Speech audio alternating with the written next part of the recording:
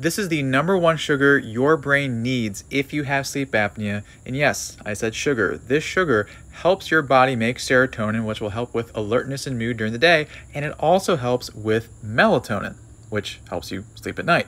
So here's the paper, and you know it's got to be true if it's in all caps. And what they found is that this particular sugar, myo-inositol, rolls right off the tongue, it is actually elevated, but it's the opposite of what you think because it's being used by certain cells, so it's going to be depleted from other cells that are required to make serotonin and melatonin. So here's a list of the top sources. I did leave the actual number one source off, which is breast milk. I figure probably people don't have that on hand, uh, but nonetheless, you can see a lot of things. I wouldn't go for the wheat, uh, but things of certain nature if you're able to tolerate sugar levels like prunes, cantaloupe, uh, liverwurst.